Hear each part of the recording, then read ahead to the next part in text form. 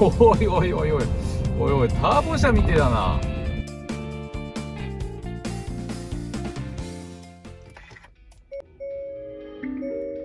やっぱりハイブリッドですね。エンジンがかからないですね最初はね。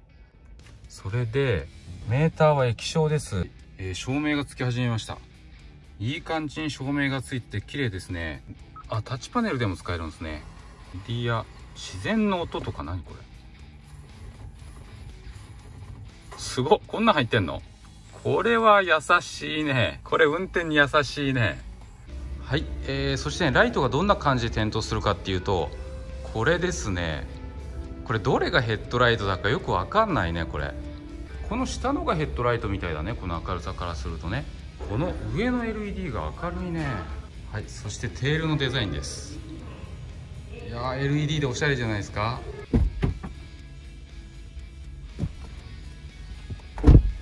上の方していきたいと思いますいやー緊張するねこの車ね気になる価格帯なんですけど777万円ぐらいするみたいです。まあ、高級車ですよね。ベンツとかもね、普通の低い方のグレードだったら買えちゃいますからね。水素で走る車ということでね、のような感じなんでしょうか。とりあえずね、あの、適当に走ってみますかね。いきます。えー、D にボタン入れて、はい、サイドブレーキ。めっちゃ静かだね。うわ、何これ。ハイブリッドだけど、モーターの加速がめっちゃスムーズだわ。そして静か。若干のモーター音はしますね。おお今立体駐車場から出るんですけどかなりの上り坂ですけどスイスイですわこれ。ああワクワクするぞこれ。ワクワクするぞこれ。右ハンドルでウインカーとかワイパーとかね国産と一緒なのがありがたいですね。常にモーターで動いてる車みたいですね。でまあ電気自動車みたいな感じですよね。加速もスムーズだわ出だしがすごい。ハンドリングはどうかな。いや結構クイックに反応してくれますよ。そんなに遊びがあるわけじゃないですし。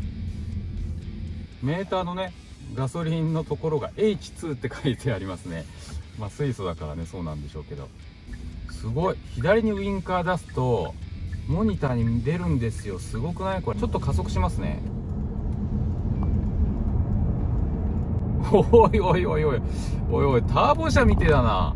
エンジン音のしないターボ車でみたいですわ。シュイーンって言ってたよ。どうなっちゃってんのこれ？ガソリンエンジンと思って乗ったらダメだね、まあ、そもそも爆発の仕方が違うものね。すごっ。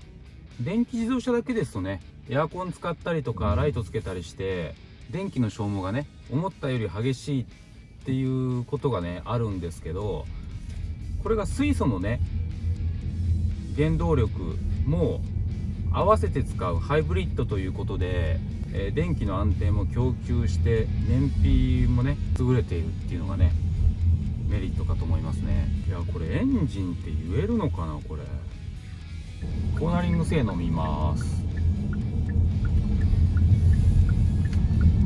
いやこれ国産車と変わんないというか国産車よりいいかな。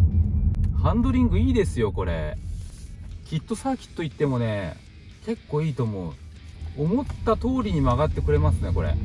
この程よい遊びの感覚。タイヤの設置感もねしっかりあるんですよ。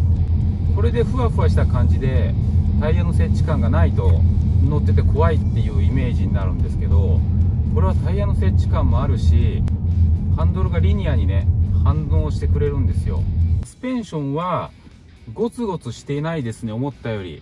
ベンツとか BMW というような硬いイメージっていうよりかはトヨタに近いような柔らかいしっかりと衝撃を吸収してくれるような国産車のサスペンションに似てますね。でもこの車なんかカーオブザイヤーに選ばれたんじゃなかったかな。左ウインカーを出しますと左側のねえ側面後方をこのように映してくれるんですよ。タコメーターのところがね。価格もいいけどそれなりの仕事してると思いますよこれ。韓国車甘く見てたわ。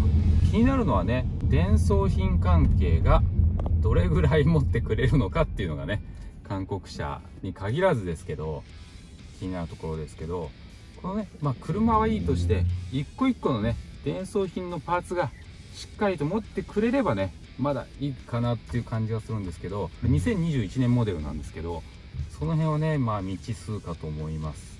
まあでも韓国製のねテレビとか電化製品もあるじゃないですか。当たり外れありますけど昔と比べたらね全然壊れなくなってきてるんでまあ、こういったね車も大丈夫なのではないかとね思うんですけどもね、まあ、ちょっとその辺は、まあ、これからね、えー、情報などを見ていきたいと思います、ま最初は電気なんだろうけどいつ水素が燃焼してるのって話なんですよね。これ分かりづらいね。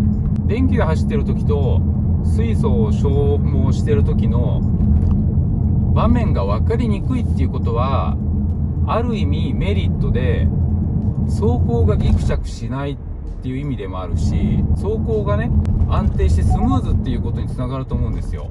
いやこれねずっと乗ってられるよこれ。クルーズコントロールの使い方はねアイサイトとかとほぼ一緒ですね。これ自動ブレーキどうなんでしょうね。ああ自動でブレーキかけてくれました。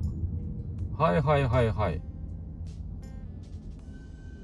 もちろん停止保持もするんでしょうね。停止保持してます。しかもブレーキの感覚かなり滑らかでしたね。ちゃんと日本語で出てくれてますよねメーターがね。前方車両発進時にスイッチもしくはペダルを操作してくださいということでこの辺はアイサイトと同じですね。停止保持時間っていうのもすぐ切れちゃわないで結構長い時間ね今保持してくれていますね。これ走行キロ数がね今現在14,700キロ走った車みたいですね。ヒョンでやるじゃん。はい追従走行始まりました。前マセラッティじゃん。ぶつかんないようにしないとね。マセラッティにぶつかっちゃうとシャレになんないかんね。超高級車です。非常に滑らかな追従走行してくれます。ブレーキ性能見ます。はい結構急ブレーキ。うんコントロール性のあるブレーキですね。カチッとしたフィーリングです。こういったねあのー、電気モーターで走る車のブレーキ制御って非常に難しいんですけどふわふわしてしまったりとかカックンブレーキになってしまったりする車種が国産車でも多い中でこのタッチはねなかなか難しい制御をしっかりとしてくれてるなっていう感じがしますね。はい、えー、ということでね、えー、このネスト追従走行もいけるということが分かりました。いや欠点探す方が難しいな。このねネッソまあ、韓国車ということでね欠点ばっかりなんかな私の辛口トークで終わるんかなと思ったら意外と褒めるとこだらけで欠点っていうかねまだ至らない点っていうのはガラスの濃色の着色あとはリアシートのリクライニング。その辺にまでね、気が回ってないっていうところ以外は、今のところ素晴らしいですね。はい、えー、ボンネットダンパーですね、ちゃんとね。で、スチールかな？スチールのボンネット。はい。で、これがエンジンカバーですね。うわー、これが水素で動くエンジンか。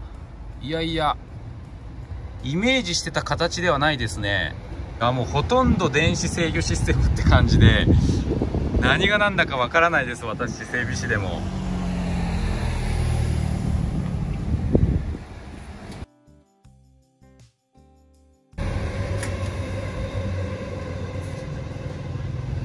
れがヒョンデのエンジンルームですはい、ということでね、いかがでしたでしょうか？ヒョンデのね、ピースを電池車って言っていいんですかね？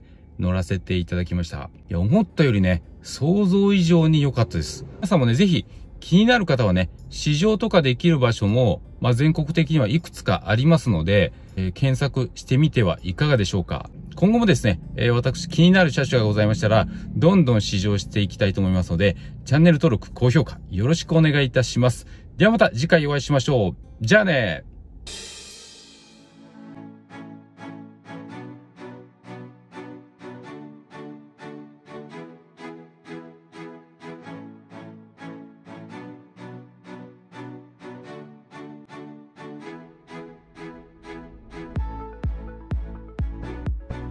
高雪水素クラブチャンネル